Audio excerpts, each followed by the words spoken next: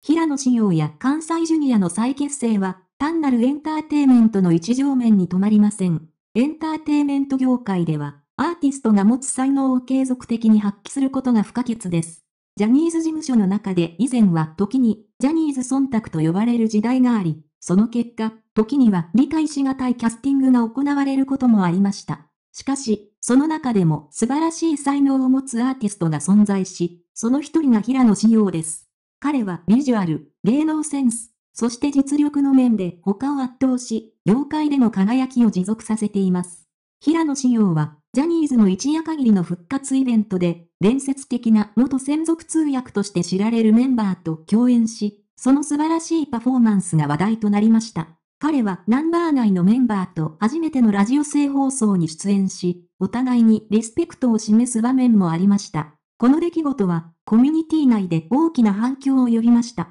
そして彼がアンバサダーを務めるイブ・サンローランが平野を起用した新しいコンテンツを発表し、ファンを驚かせました。その新しいコンテンツは春の期間限定ギフトラッピングミラーイラで、ピンクのメタリックとリフレクションのデザインが特徴です。一方で、関西ジュニアの再結成という注目すべきイベントもありました。彼らは9年ぶりにテレビ出演し、ファンの心をつかみました。この特別な出演は、関西ジュニア時代に共に活動したメンバーが再び注目を集める機会となりました。特に、関西ジュニア時代の金子寺コンビはファンにとって特別な存在であり、その再会は懐かしさと感動を呼び起こしました。しかしながら、喜びの中には残念なニュースもありました。彼らの出演が決定した番組は、以前とは異なる時間帯や地域での放送となりました。これは、視聴率の低下や番組の問題によるものであり、ジャニーズ事務所の一連の問題が業界全体に与えた影響の一部を示しています。